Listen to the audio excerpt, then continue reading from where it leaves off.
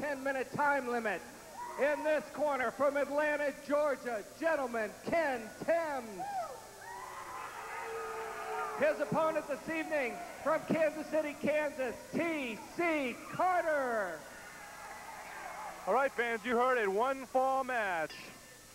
Gentleman Ken Timbs against T.C. Carter. Bob Geigel, welcome back again. It's great to have you here during this hour to, to lend your expertise and keep us up with what's going on and who's coming into the World Wrestling Alliance and all the things that are happening. That was a real shocker. Rufus R. Jones retired.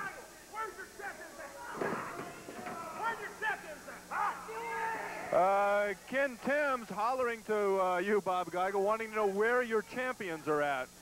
I heard him. Uh, I'm sure there are plenty of champions that'll go after Ken Timbs. Well, But you know- I'll, I'll say this for Ken Timbs. He's an aggressive wrestler now. Yeah, he's aggressive. Well, right now he's calling for Mike George. Uh, now he's hollering for Peterson. Uh, he better keep his uh, attention focused on T.C. Carter because uh, losing to T.C. Carter sure won't get him any uh, title matches. Uh, while he works over T.C. Carter, continuing to call uh, alternatingly for Peterson and George. Uh, Timbs t uh, talking in your direction, Bob Geigel, saying you can hide him, but he'll find him. Oh, what a high backdrop that was. That's right. Hope he didn't get hurt. Uh, I don't, if that didn't knock the wind out of him, nothing will. T.C. Carter's down. That Timbs is possessed. What's uh, what got into him? Well, he's been here, what, uh, I believe this is the fourth week now he's been here, and apparently he's unsatisfied and he's uh, anxious. He's obviously looking for champions and title matches.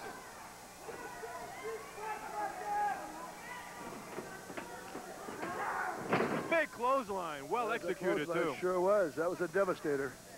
Well, he continues to laugh. Obviously, uh, Ken Timbs in full control of this match. Watch out. There's T.C. Carter down on the floor. Ken Timbs certainly enjoying himself at this moment, strutting around the ring, uh, demanding once again that uh, promoter Bob Geigel quit hiding the champions and that they bring the champions to him. He better keep his eyes on this T.C. Carter because this T.C. Carter is an improved wrestler. He's getting better every week. And uh, don't be surprised to see that T.C. Carter up there uh, competing pretty soon. Well, I hope that gentleman Ken Timbs has thought out his challenges because Dave Peterson, the Central States champion, isn't very hard to find. No, Peterson, listen, don't look for that Peterson too hard or you'll find him. And uh, Tibbs better keep And that you may regret it when you find him, too. That's right. I know a few uh, top wrestlers that uh, have tried and failed, namely uh, Bob Brown and the Cuban Assassin. Uh, Dave Peterson's ducked nobody since winning the title on Christmas night. Timbs delivering a good, solid neck breaker on T.C. Carter. Count of two. Uh, it appeared from our camera angle, Bob Geigel, at Ken Timbs jerk T.C. Carter up from behind the neck, preventing the uh, three count on that one. I think that's what he did. He's trying to punish uh, TC. Well, you know, he this is exactly the same thing that Ken Timbs did last week on All-Star Wrestling here when he continued to punish Curtis Hughes far and beyond after he had defeated him.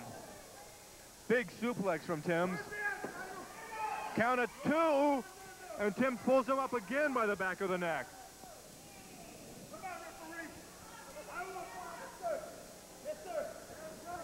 Timbs uh, complying with the referee, but the referee is trying to tell him if the man's beat, pin him and get it over with. But Timbs continuing to fire away. Uh, you know, Bob, we've seen a few occasions like this where it's backfired before. That was almost one of those occasions, but not quite. T.C. Carter had the right intention. If Tim mess around anymore, he's liable to lose this one.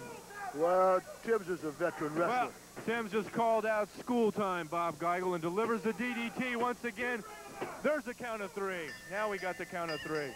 Ken Timbs once again referring to you, Bob Geigel, telling you to bring him out. Let's go to the ring for our final announcement.